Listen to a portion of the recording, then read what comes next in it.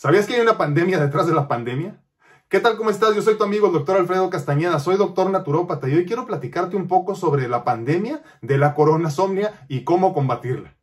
Recientemente se realizó una encuesta en 49 países. Ahí se encontró que el 58% de los participantes estaba insatisfecho con su sueño durante la pandemia. Además, un 40% informó disminución en la calidad del sueño. En definitiva, esta cuestión de la coronasomnia, esta pandemia de la coronasomnia, es un mal generalizado.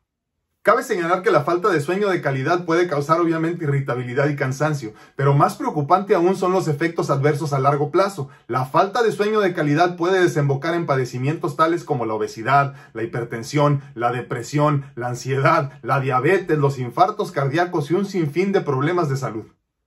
A continuación quisiera compartirte algunas recomendaciones para que puedas conciliar el sueño de forma natural y segura. Para empezar debes respetar el ciclo circadiano del sueño. Para entenderlo de una forma muy básica es dormir al anochecer y despertar al amanecer. Las horas ideales y donde obtendrás la mayor cantidad de sueño de calidad son entre las 10 de la noche y las 5 de la mañana. No olvides también, muy muy importante, dormir por lo menos 8 horas por noche.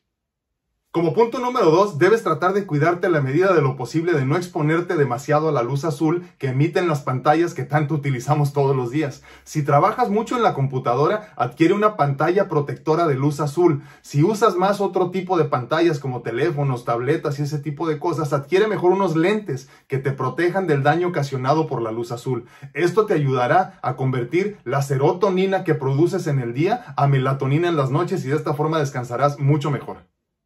Como punto número 3 te quiero recomendar los test de pasiflora y valeriana, los remedios de la abuelita. Cualquiera de los dos o la combinación de ambos 30 minutos antes de irte a dormir te ayudarán a descansar plácidamente.